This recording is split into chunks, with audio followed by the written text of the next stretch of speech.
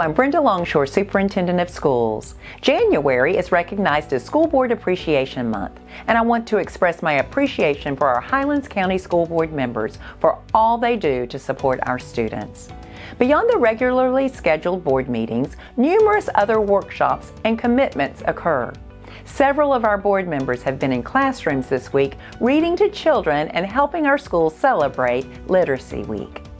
Earlier this month, our board members walked each school campus as well as the district office for the annual review of facilities project requests.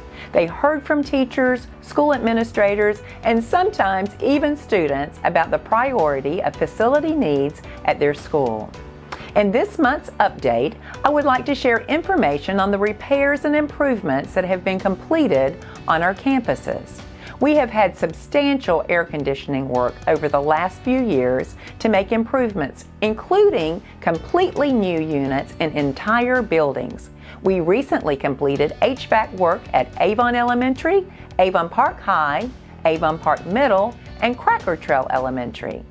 Here in Florida, we can experience many types of weather. Traveling even a short distance across campus can result in spending the rest of the day in wet clothes on rainy days.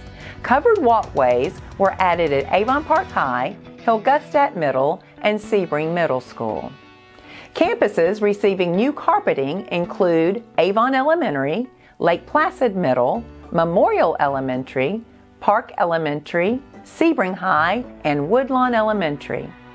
Additional work completed from school facility requests include classroom upgrades at numerous campuses, cabinet replacements, new furniture, and gate and fencing improvements at Lake Placid Middle and Lake Placid Elementary School.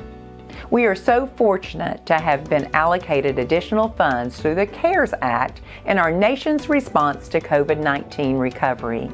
And other funds came as a result of the half cent sales tax, which voters approved in 2016. I want to thank Highlands County voters for supporting that measure. This additional funding has made it possible to complete numerous projects in our schools. As Highlands County expands and with the many activities and events that bring tens of thousands of tourists to our area throughout the year, the half cent sales tax collected on money spent here means that we can provide substantial additional support to the students in our schools. We have 18 campuses and a district administrative office that are home to over 1,600 employees and over 12,000 children. As you can imagine, the daily operations of the school district encompass a wide array of facility and infrastructure needs. I am so thankful that in Highlands County, our district administrators, staff, and board members understand how important it is to spend time at every campus listening to our school leaders and staff and working collaboratively to ensure we are meeting the needs of the children in our community. Thank you.